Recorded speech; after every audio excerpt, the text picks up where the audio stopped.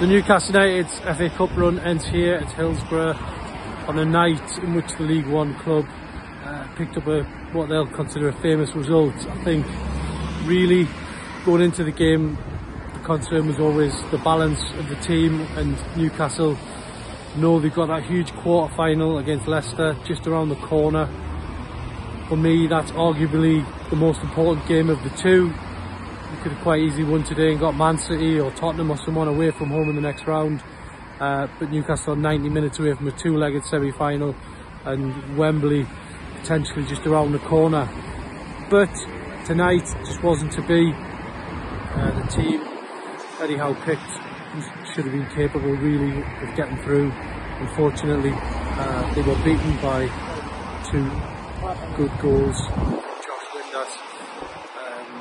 terms of the run into the box. No, no VAR. You know, he, he, took full advantage of it, and then obviously the second strike, getting past the defenders and, and taking his opportunity. And then Newcastle pulled the goal back with Bruno, set up a, a late rally. Chris Wood probably knows he should have scored, and Newcastle should be heading up the road with a replay. Instead, uh, they've been defeated here 2-1, and they've got to move on very quickly from this.